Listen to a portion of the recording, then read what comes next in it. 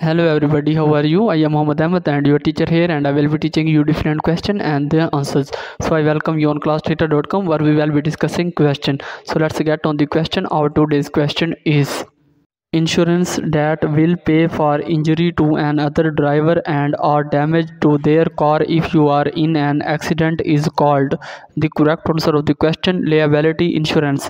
So that's the correct answer of the question. If you have any question just leave a comment. I will be answering you as soon as i can. Thank you very much for watching the video. Please don't forget to like share and subscribe our channel. Until next question. Bye bye